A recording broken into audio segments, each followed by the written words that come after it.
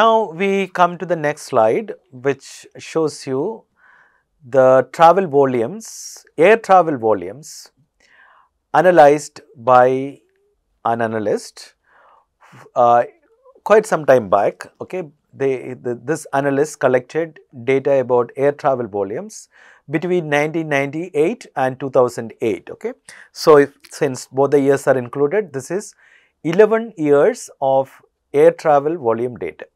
Okay, and uh, so the x-axis is about the years and y-axis is about the volume of travel. Okay, uh, but the volume of travel is not given in absolute numbers; it is given in relative terms. Okay, in relative percentages. Okay, so the blue bars represent travel volumes to top 50 travel destinations and the red bars show travel volumes to everywhere else. Okay.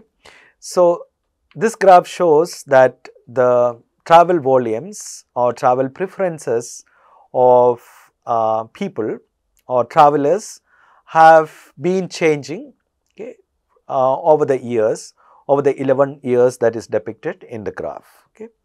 So, uh, somebody made an attempt to collect this data and visualize this data in the form of bar graphs. So, are there some quick observations from this bar graph in front of you? You can look at it for a while and uh, make your observations.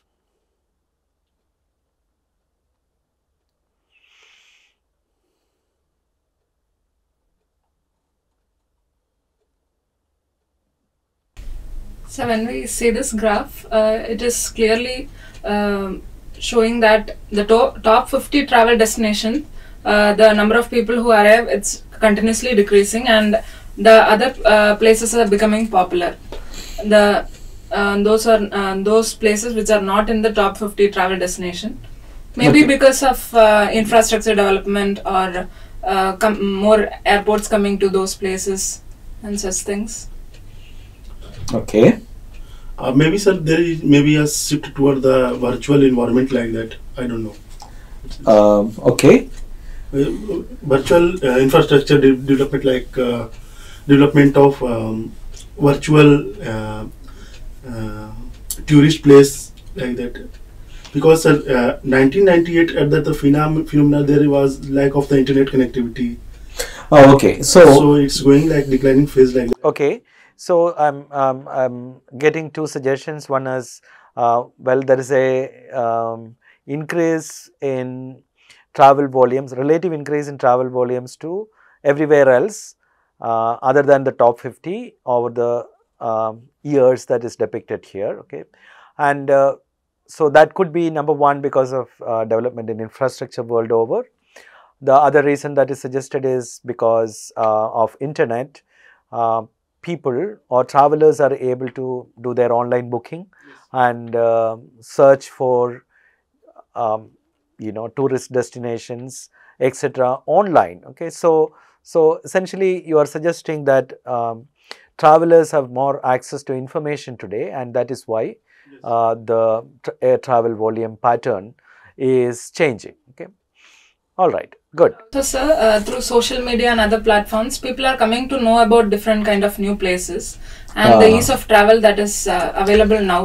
Okay, okay, okay. So there are a lot of social media platforms which uh, inform. Okay, so there are a lot of online platforms meant for travel, uh, where which are accessible today as compared to you know uh, decades back. Okay, so yeah, yeah, more access to data and information.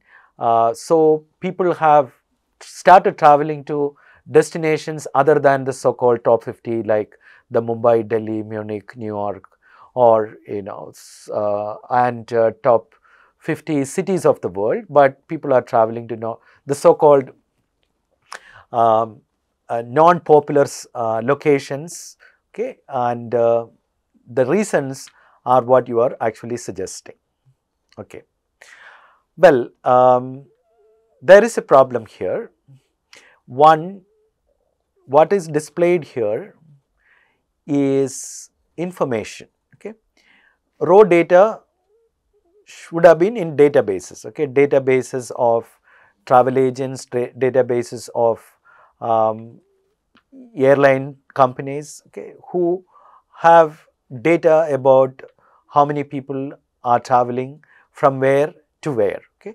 This data must have been available in the databases and somebody has um, sort of got this data and analyze the data and visualize the data. Okay. So, what is shown in the graph strictly speaking is information of relative air travel volumes from 1998 to 2008. It is a valid observation from the data that travel volumes to top 50 destinations have been declining okay or to be very specific it has declined from 36 percent to 26 percent or 10 percent decrease okay over the last 11 years both years included okay. That is a very valid observation. That is a pessimistic observation. Of course you can uh, say that differently by saying that uh, travel volumes to uh, destination other than the top 50 have been growing okay uh, and it has grown by 10 percent okay. Uh, so everywhere else travel has grown by 10 percent top 50 travel has declined by 10 percent both are valid statements and of course we cannot say that if absolute volumes of travel has increased or not okay. from this data we cannot okay we can only say that relatively travel volumes have changed okay. that is also something that we can keep in mind when we interpret this graph okay. but what is not given in the graph is something that you are trying to suggest. Okay you are suggesting the travel volumes have changed because okay so you are actually bringing a because here. Okay why or a, this is actually why okay you are trying to explain okay. You are you have gotten into explaining why there is a decline or why there is an increase in the travel volumes okay. And is that data available uh, in the graph that is shown does any data here suggest that travel volumes uh, have increased because of internet or infrastructure or anything of that kind?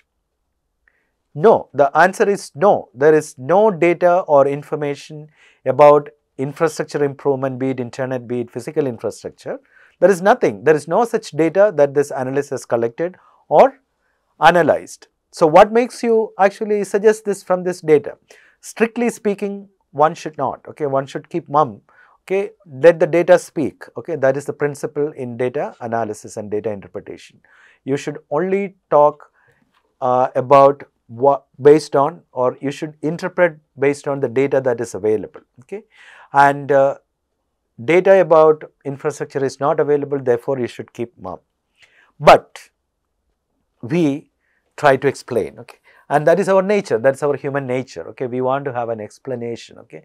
Whenever we look at a phenomenon okay we have an observation okay? And what we observe uh, we can describe okay? Okay? You can describe what we observe okay? And this graph this graph is an excellent example of a good descriptive information okay? And we also call it descriptive analytics okay? In terms of analytics we can say it only describes data okay? It doesn't say why the data is like this okay? Or why a phenomenon of this kind is happening. This only say what what is happening okay? A descriptive analytics or a descriptive analysis of data is answering the question what is going on? What is happening? Tell me what is it okay so, you describe the data, you do not add any masala to the data by saying oh somebody is doing something like this and why that is why it is happening. No, absolutely no. Okay. In a descriptive anal analytics, do justice to the data, do not say anything else. But there is explanatory analytics, okay. Explanatory or you try to explain explaining or can be called explanatory analytics, okay. In explanatory analytics, you try to explain why some phenomena is happening. Okay? So, here in this case, when you look at this data, you have a natural curiosity. Okay? The why is a curiosity. in research as a um, instructor of research methodology as well, I encourage students to be curious about the phenomena they observe. Okay, I did not mean to suppress your curiosity when you when you look at this data and try to give an explanation. You need to give explanation. Okay, so explanation seeking research is known as explanatory research. Okay, and uh, that is an integral part of analytics also.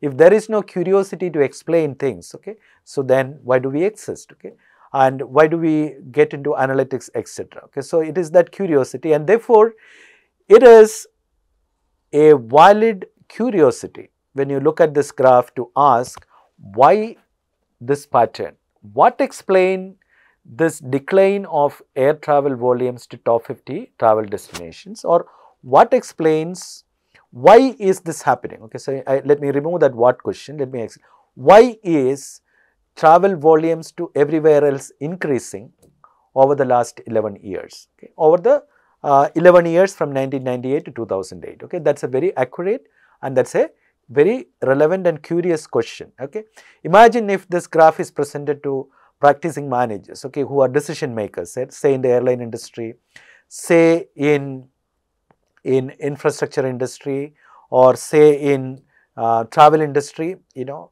uh, they will be very curious okay when they look at this data and they would immediately try to answer like uh, what you try to suggest like it is because of it is because of okay? A why question is answered with the word because okay? So therefore we we have a situation here. There is only descriptive data okay? There is only as far as data is concerned there is only descriptive data available but as far as questions are concerned, we have further questions that is generated from this descriptive analytics, which is the why question, why is it happening, okay. But what we immediately did is we tried to give an explanation as if that is conclusive, okay, as if, okay. What is suggested like it is because of internet infrastructure, it is because of um, airports and so on may be true, I do not deny that, but there is no data here. Okay. So, therefore, we cannot conclude, we cannot conclusively state it is because of this. We can what we call in research literature as we can conjecture okay, or we can hypothesize. Okay. You can actually say that it appears or it could be or a, a reason could be. Okay. You argue, a hypothesis is something that you argue you do not conclude, okay. You have to go and collect more data and see if there is a correlation between um, you know increase in infrastructure and this travel volume, okay. So, you have to establish correlation first and then causation would require further more analysis, okay. So, correlation and causation are not the same, we will see as we go uh, in our analytics lessons in, in the future classes, okay. So, in sum a descriptive analysis is only describing data, it answers what question, okay. A what question like what is the pattern of air travel volumes uh, between top 50 destinations and other destinations for uh, the period 1998 to 2008. That question is answered in this graph, okay. But the question why is travel volumes increasing to uh, destinations other than the top 50 is not answered in this graph. It is not answered. But yeah. Can sir speculate like that since virtual reality is becoming popular these days? Yeah, that speculation is called a conjecture, okay, called a hypothesis, okay. And so therefore we say that a descriptive analysis is very useful for generating research questions, okay, or for generating hypothesis, okay. It is very useful for asking useful further questions okay?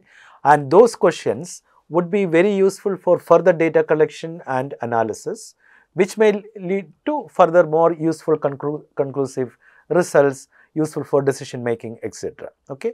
So uh, in analytics we say a descriptive analysis is the starting point okay?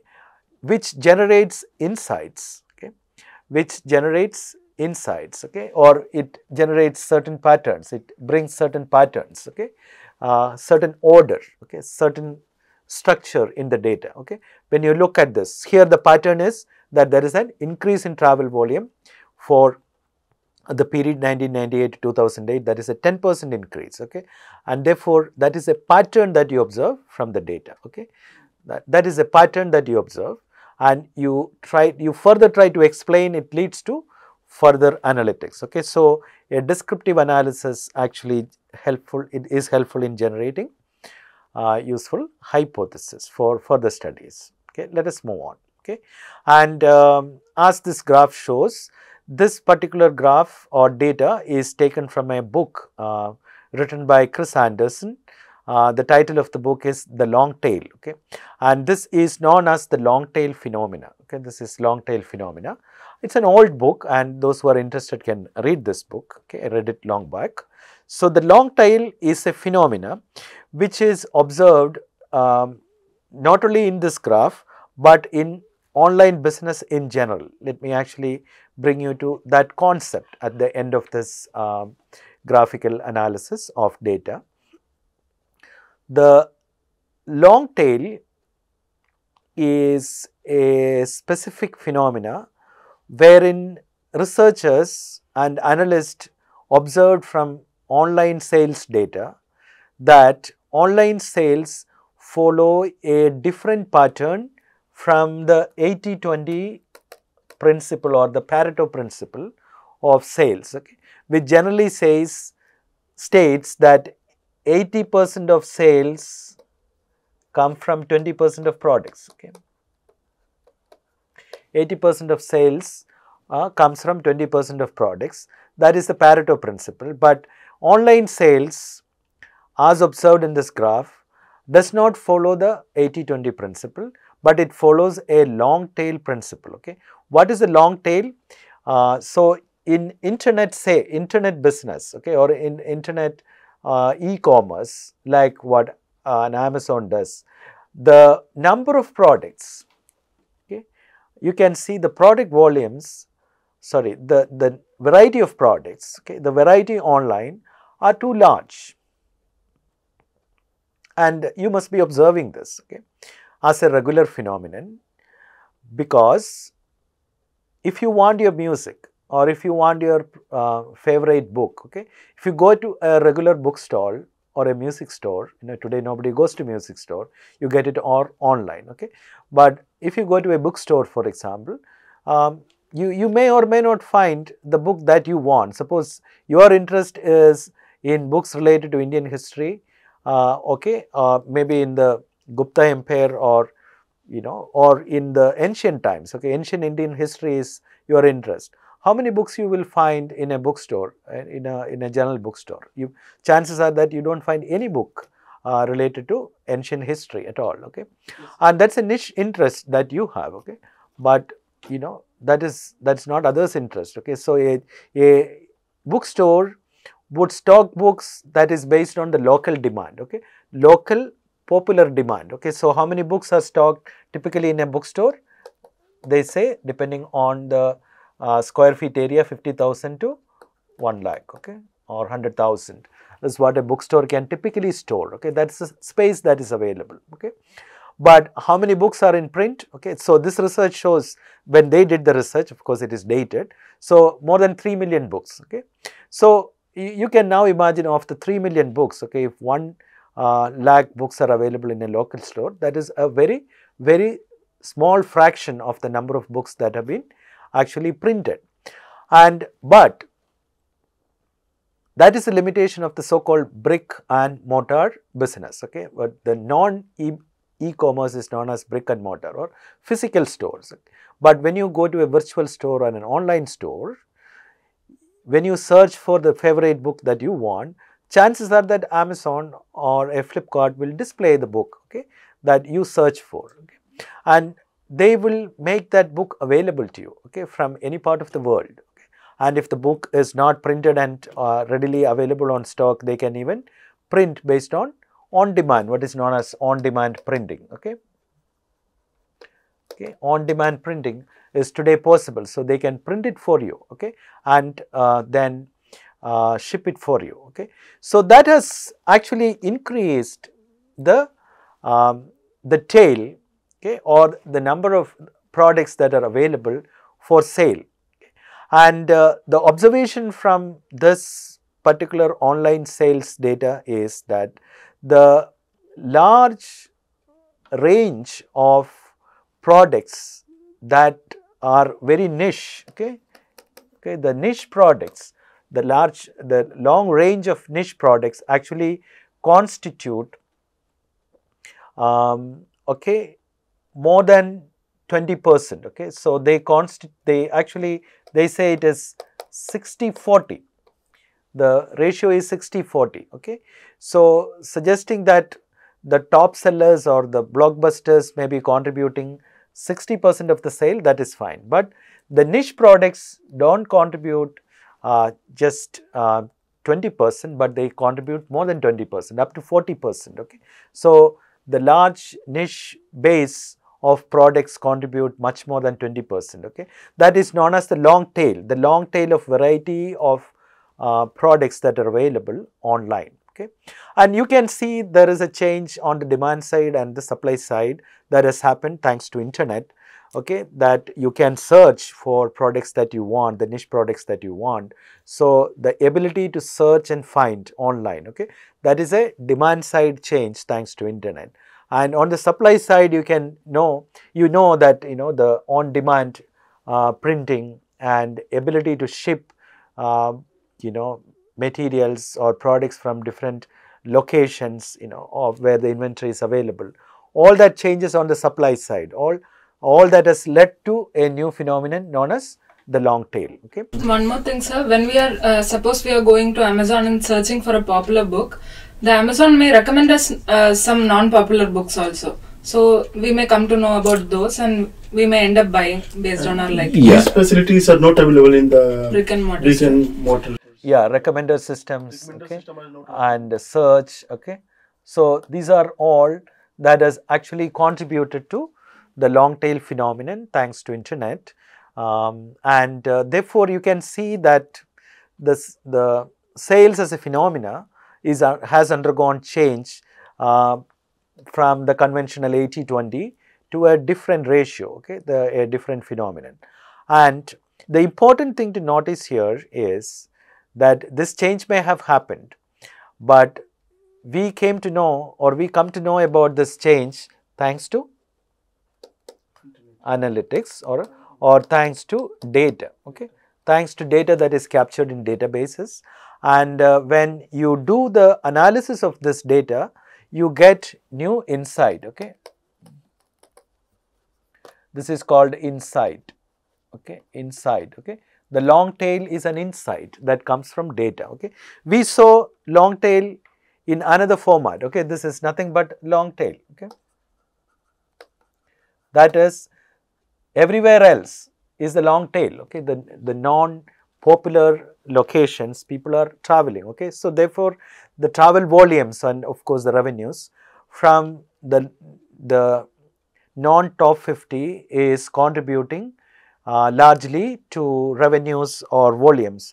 And that is also a long tail phenomena you can observe in travel okay? So so this phenomena or these insights were derived from databases or from data okay or thanks to data today we are able to generate new insights okay which otherwise are hidden inside you know the large volumes of raw data. Thanks to analytics thanks to um, databases this became visible okay. So i'm just sharing some data that is captured in the research paper.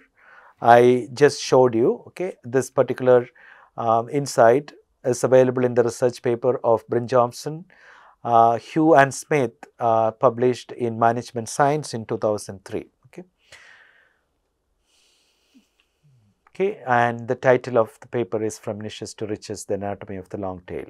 This slide is again from um, research done by uh, external agency. I have just copied it from the Economist uh, Technology Review, and I found it very useful. It's not. It's it's uh, it, it's more recent, and uh, this uh, consists of uh, three graphs. So, you can see x-axis provides timelines uh, in years and y-axis is in log scale, in logarithmic scale and it is plotting the prices. Okay. So, price and uh, speed. Okay. So, for so you know it is a bit confusing because for transistor prices and disk drive prices uh, which are the two bottom graphs, it is in um,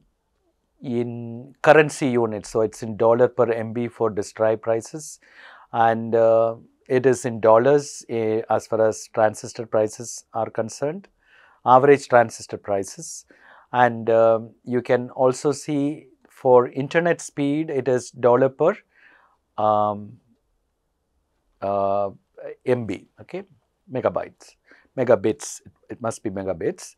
So, uh, that is about speed, okay. So, so essentially giving us a sense of cost of what?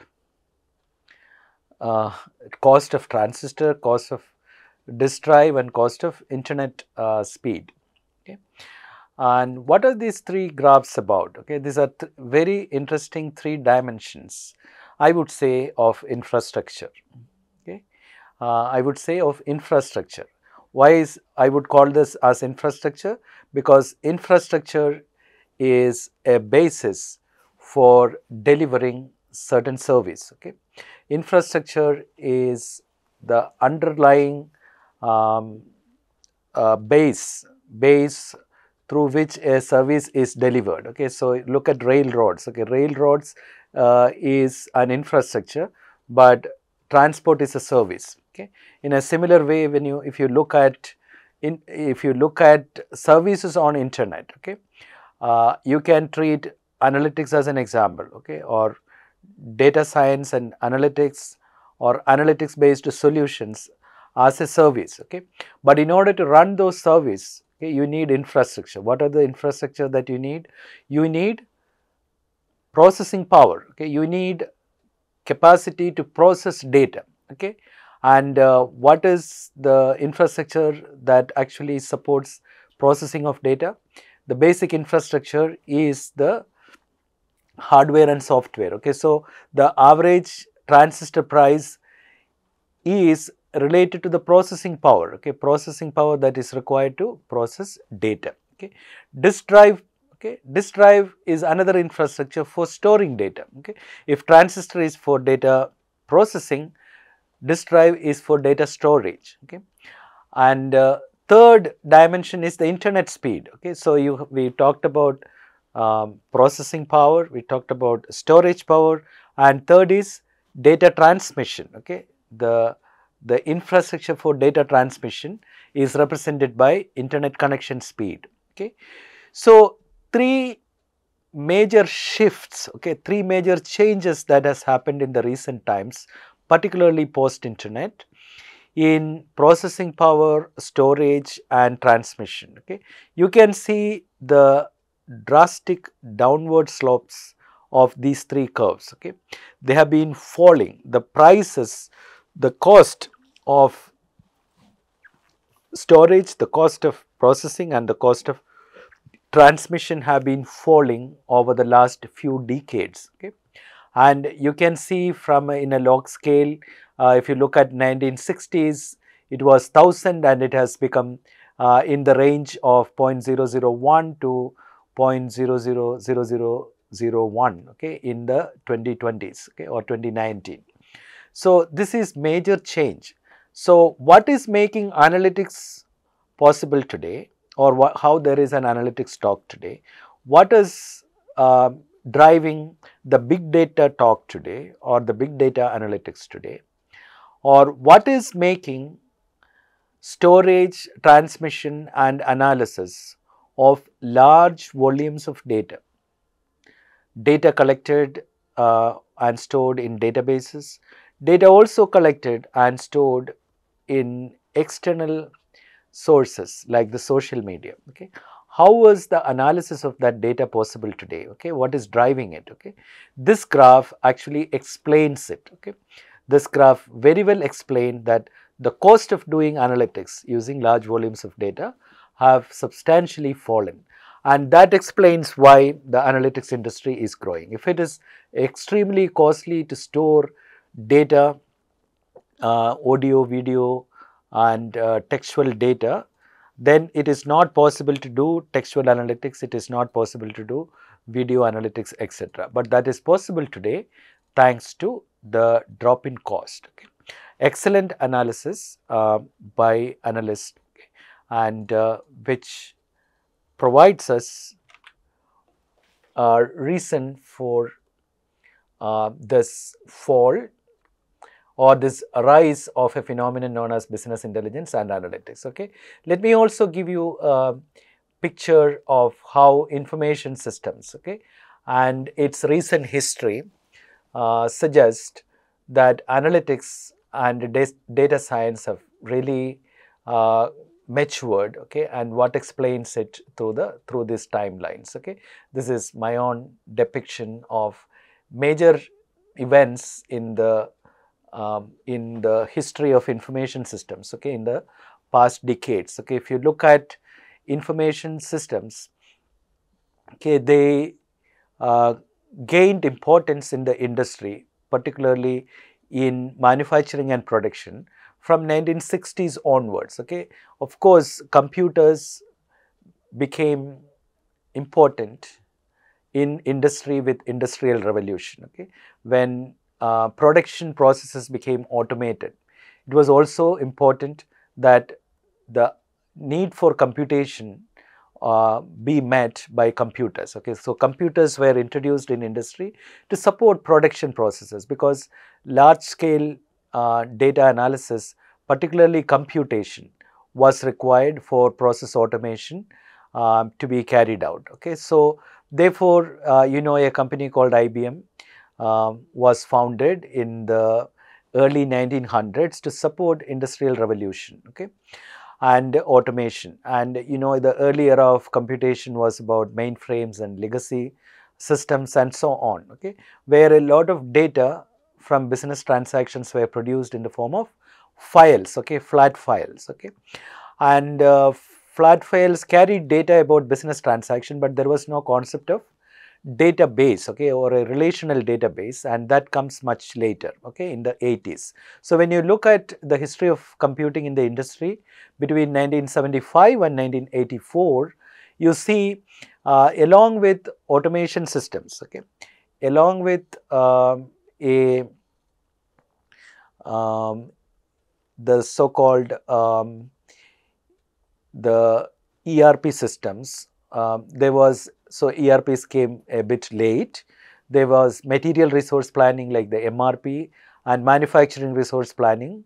Okay, these were business software used by production uh, for production between 1975 to 84. So all this resulted in a lot of data okay and that data were analyzed to produce reports in the form of MIS reports okay so uh, it is known as management information system reports okay and uh, DSS was another byproduct of uh, data okay decision support systems which did advanced ana analysis of data from um, files and also from databases by uh, mid 80s databases became very popular. Relational databases were available in industry along with ERP systems, okay. Distributed computing began, okay. Personal computers became popular. Microsoft and Apple and Oracle were all founded during this period and you can see software becoming very important industry to support uh, to support other business or economic activities okay so so mid 80s could be seen as the era of uh, software industry and uh, database industry I would say. And when you move from 80s to 90s you can see um, business intelligence, okay, business intelligence uh, as a particular concept started developing, okay, in addition to DSS, okay. And what is the importance of it?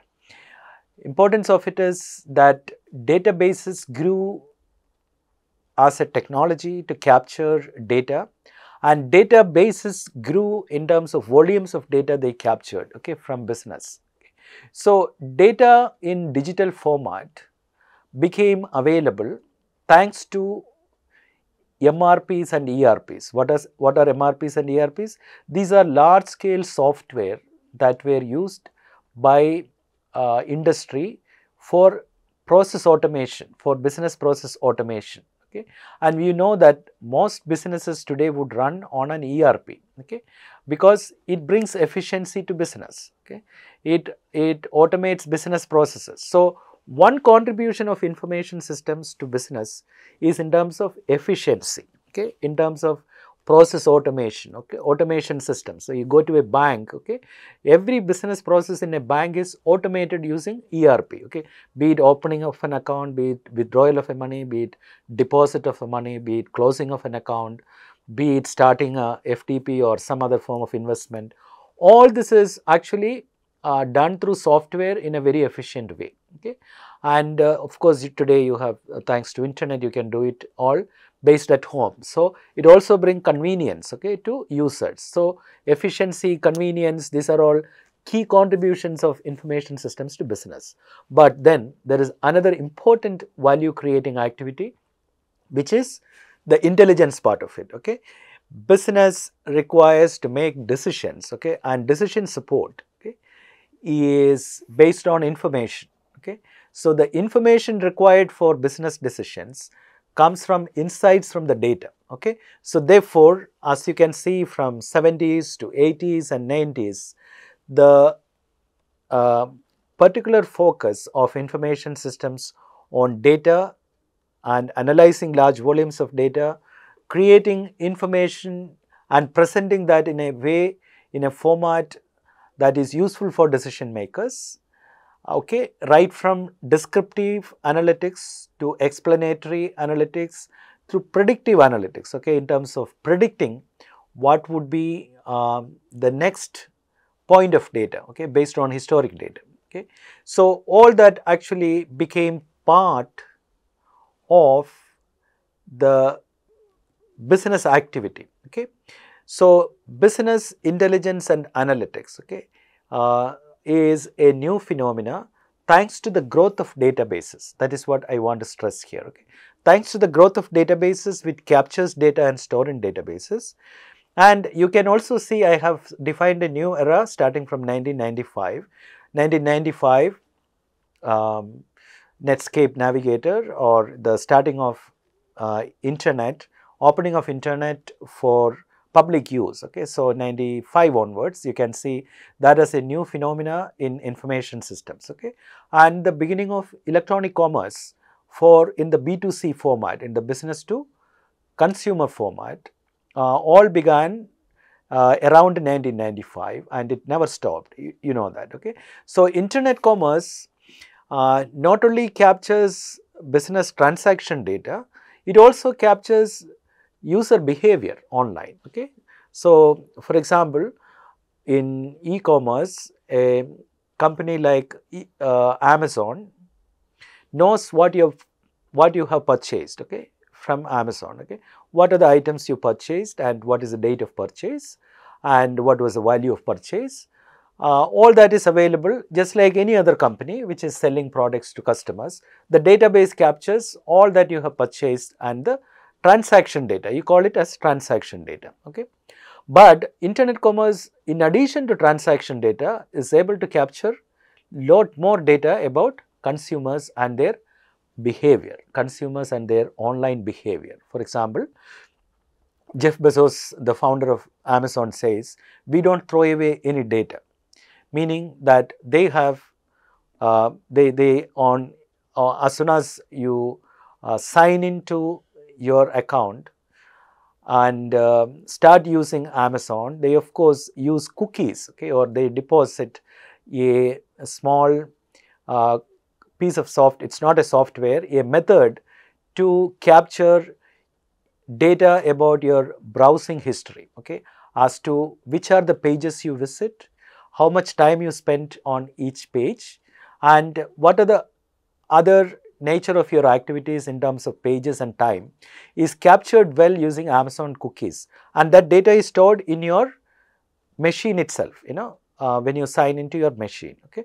So, therefore, these cookies are very useful sources of data to capture your behavior okay, as to what products interest you, what is your browsing behavior, okay, what products you actually uh, place in a shopping cart and what products you drop from shopping cart.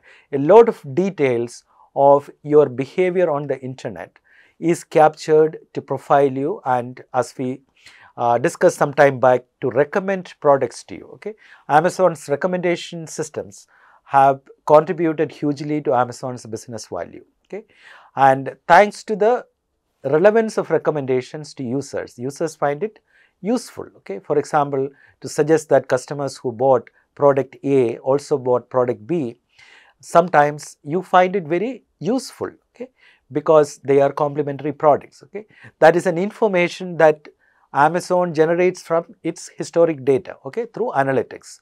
So, therefore, what you can see here is that with internet the extent of analytics expanded okay the scope of analytics expanded from database data to online behavioral data okay? So you see a change uh, or an expansion of the scope of analytics okay? And i have placed 2005 as a uh, subsequent era okay where social media big data ai and what more okay? Robotics and so on are actually uh, the new topics uh, of interest in the world of internet okay? Web 2.0 interactive platforms okay where you, you, you see you look at growth of companies like facebook in i guess around 2004 and subsequently twitter which is today x. And uh, then you, we also talked about uh, platforms like whatsapp uh, then um, and several other social media platforms which attracts and engages people okay, not for business okay you uh, just come to those platforms to spend your time to engage with platforms oftentimes to engage with others. It's a society it's a virtual society they have formed where people ex exchange their interest okay? And that is a data. All that actually the platforms do is they keep uh, registering your data okay? What you're talking about what are you posting okay? And that talks about you. That is a data that is useful to profile you to market products to you okay so uh, you may not be really serious about your privacy oftentimes because uh, you get benefits by participating in the social media okay the privacy is a dark side of customer analytics where your data is captured and stored and uh, transmitted, shared, uh, etc. and used for profiling you, etc. Um, of, oftentimes with your consent, but you do not realize that you have given your consent. Okay, that is the dark side of the analytics, uh, particularly with social media, but that is of enormous value in business. Okay, so the the discussion about analytics has again subsequently changed from e-commerce to social media. Okay, so this IT timesheet okay provides you a picture of the growth of use of data for insights in business. Okay, from the early era of 1960s to the current era of social media from 2005 onwards, okay, where the scope of data analysis has moved from MIS DSS to business intelligence, analytics, big data and data science today. Okay. So, that is a growth story and that is a non-stoppable growth story and today with artificial intelligence and machine learning, you know, we are creating algorithms which are uh, which are machines, but man-like. Okay. You know, so man-like behavior okay, or man-like characteristics are uh, induced into machines or algorithms where algorithms learn okay or they get trained over a period of time with data just like children actually learn and become more intelligent algorithms become more intelligent with more data or with large volumes of data over a period of time and they become intelligent okay that is artificial intelligence okay artificial intelligence derived from data okay the intelligence comes from training data. Okay, we call it training data. So these are aspects we will touch upon in this course, but uh, this course is not about MI, ML or AI or even big data analysis. We scope this course in and around business intelligence and analytics.